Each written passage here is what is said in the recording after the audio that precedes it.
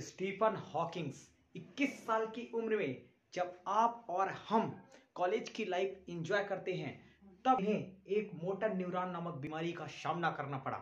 ये बीमारी दोस्तों इतनी ज़्यादा खतरनाक, इतनी ज़्यादा खतरनाक थी कि डॉक्टर को दिखाने के बाद डॉक्टर ने यहाँ तक कह दिया था कि मुश्किल से एक और दो साल ही जीवित रह पाएँगे।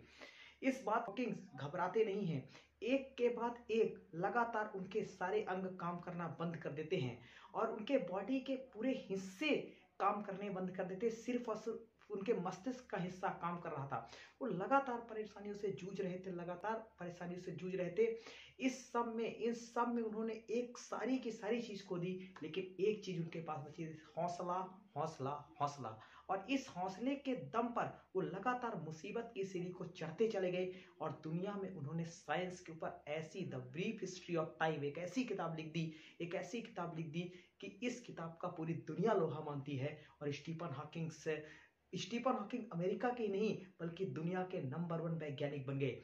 इन्होंने ब्लैक होल ब्लैक होल पर और ब्लैक होल के अलावा इन्होंने बिग बैग थ्योरी पर बहुत बड़ा अपना योगदान दिया। तो इसमें एक बात निकल कर आती है कि इंसान के अंदर अगर कुछ कर गुजरने की शक्ति हो तो दुनिया की कोई ताकत उसे रोक नहीं सकती। ये एग्ज़ाम्पल दिया हम सबको स्टीफन हॉकिंग्स ने।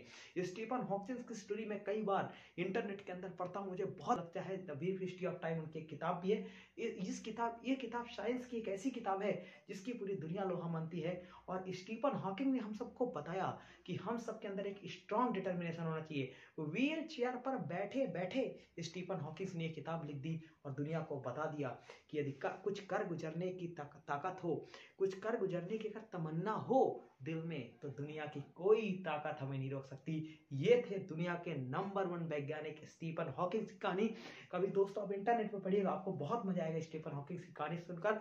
पढ़कर और सबसे बड़ी बात, इसमें हमें इतना कुछ सीखने को है, इनकी लाइफ से भी इतना कुछ सीखने को है कि जिस इंसान के पास ना हाथ, ना पैर बॉडी का कोई भी हिस्सा काम नहीं करा सिर्फ़ इतना हिस्सा काम करा ऊपर का इतना हिस्सा काम करा और इस हिस्से पर उन्होंने दुनिया के ऊपर ऐसी ऐसी किताबें साइंस के ऊपर लिख दी कि बता रहा हूँ कि दुनिया पूरा लोहा मानते हो। उम्मीद करता हूँ दोस्तों, यह है आपको छोटा सा वीडियो।